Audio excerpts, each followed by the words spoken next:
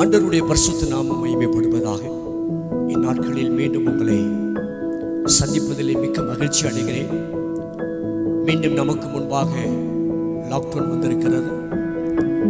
இந்த நாட்களை நாம் பிரயோஜனப்படுத்தும்படியாக ஆண்டருடைய சமூகத்தில் இருந்து நன்மையானவைகளை நாம் அனுபவிக்கும்படி தேவன் ஒரு வாய்ப்பு கொடுத்திருக்கிறார். ஒவ்வொரு நாளும் ஒரு வசனத்தை அனுப்புவது வழக்கம். இனி வருகிற நாட்களில் வசனத்தை மாத்திரமல்ல அந்த வசனத்தோடு கூட சேர்த்து ஒரு சின்ன செய்தியும் உங்களோடு கூட பகிர்ந்து கொள்ள விரும்புகிறேன். அதற்கு தெரிந்து கொள்ளப்பட்ட ஒரு தலைப்பு ஒரு நிமிட மறுரூபம். ஒன்று குருந்தியர் பதினஞ்சாம் அதிகாரம் ஐம்பத்தி ஒன்றாம் வசனத்தில் பவுல் அந்த ஒரு நிமிடத்தை குறித்து எழுதுகிறான். கடைசி எக்காலம் துணிக்கும் பொழுது ஒரு நிமிஷத்திலேயோ அல்லது ஒரு இமைப்பொழுதிலேயோ ரெண்டு சம்பவங்கள் நடக்கும் என்று பவுல் கூறுகிறார். ஒன்று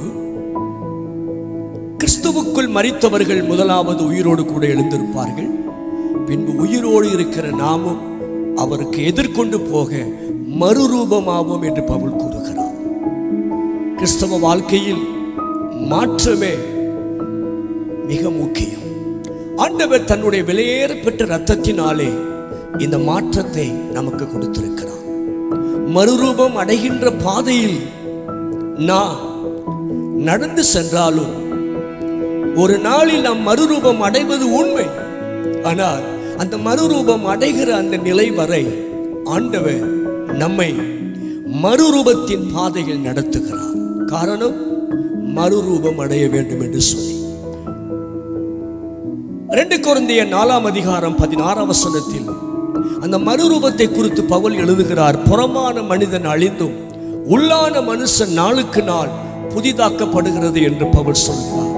We are being renewed day by day. ஒவ்வொரு நாளும் மறுரூபம் தேவை. இனி வருகிற நாட்களில் தினமும் ஒரு நிமிடம் மறுரூப தியானத்திற்கு உங்களை அழைக்கிறேன்.